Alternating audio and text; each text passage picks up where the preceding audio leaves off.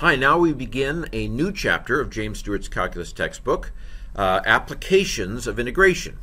So, in chapter 5, uh, we learned how to integrate, um, which is largely uh, a technique used to solve the, the so called area problem. How do we find the area underneath a curve uh, when it's not uh, necessarily straightforward? And so, this first section of chapter 6 is called Areas between curves. Now we're going to put integration, uh, this, I, this idea of the integral, uh, to work. So for example, how do you find the area of this shaded region right here? So let's say we have two functions, not very well drawn, I'm sorry, uh, but we have f of x, let's say, here, and then let's say we have g of x right here. And then let's say that we want to we don't want to find the area between them for all infinity.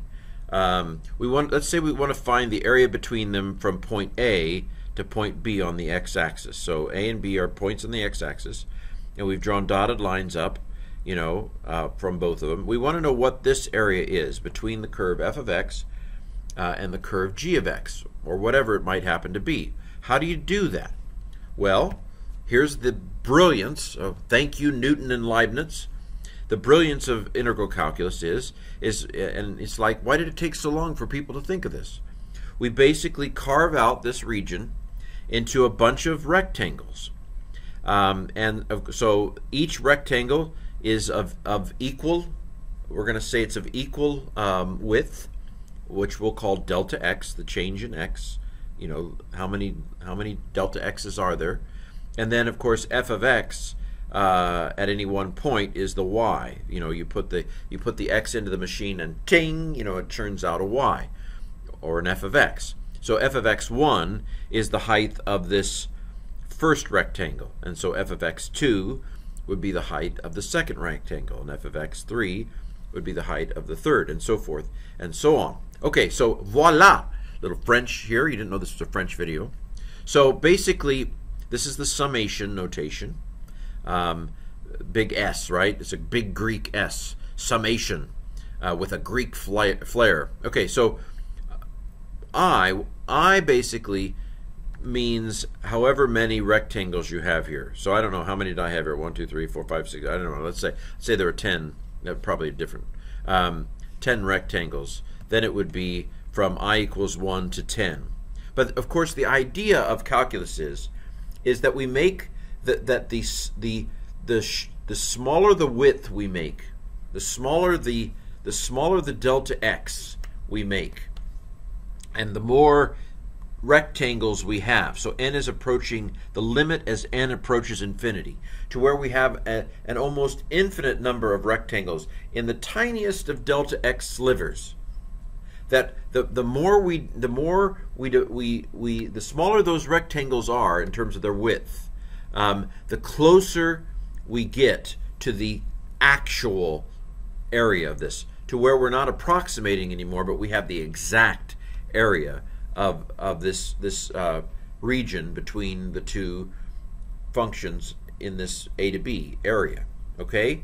And so the sum as n as n approach the limit as n approaches infinity, as the rectangles get thinner and thinner and thinner, of f of x minus g of x. So the, what does the i mean? The i, this is somewhat abstract. The i means basically uh, however many uh, um, slices we have. Um, what this ends up being, basically, is the sum of the areas of all these little rectangles, right? That the, the thinner I make these rectangles, and therefore the more rectangles I have, the closer that the area of the sum of all those rectangles is going to be the area of this region under here. And so the area of any one rectangle, what's the area of any one rectangle?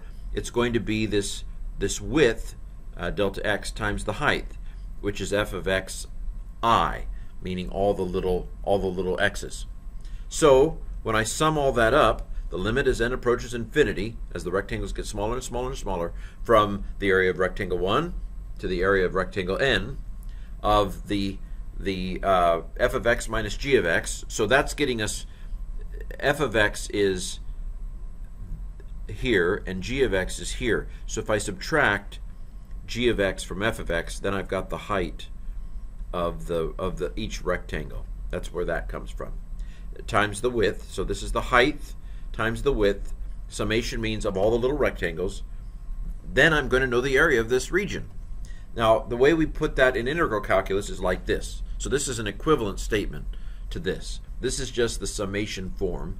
This is this is where we we basically say this whole process is called integrating. It's called the integral from a to b, right? Because we only want that region of the top part of the uh, the part the top curve minus the bottom curve times each little infinitesimal uh, delta x. Okay, and this is going to give me the area of that of that region between the curves. And there are all kinds of great examples uh, in this section. Um, it, it's definitely worth your while to go through each example uh, that Stewart gives in, in this section. Now, sometimes pieces have to be added separately. I didn't do a drawing for this, but sometimes you have, uh, you know, where sometimes f of x is on the top and sometimes f of x is on the bottom, and so you kind of have to take, you have to divide up the sections and add them up together. Um, but another way to put that is that what's different between this and the previous page is this is just a bracket.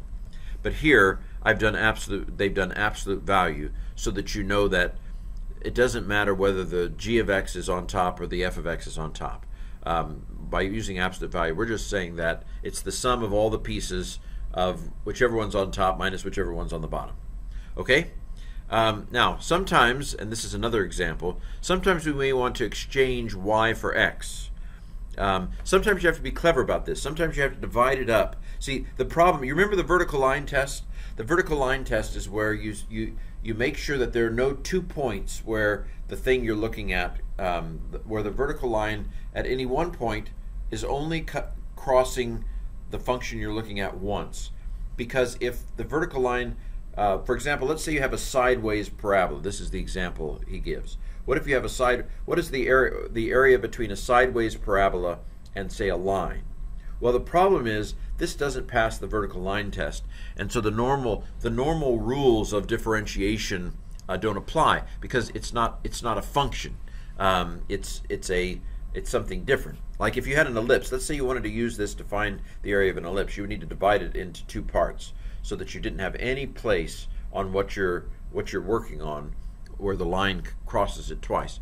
Well, a neat trick they show in this chapter, for example, if you've got that parabola going like this, if you if you if you trade out the x and the y, then all of a sudden you're not you're not looking at this kind of uh, parabola, but you're looking at does it go like this? Uh, but you're looking at this kind of a parabola. Um, by by exchanging the x and the y, you make it into a function. Um, and then it actually saves you trouble. You can divide it up into parts, do the top half, do the bottom half. I mean, you can do that, but but it's much easier to just flip out the x for the y. That that you have an equivalent shape then in terms of the area. It's oriented different, and then you can work with it.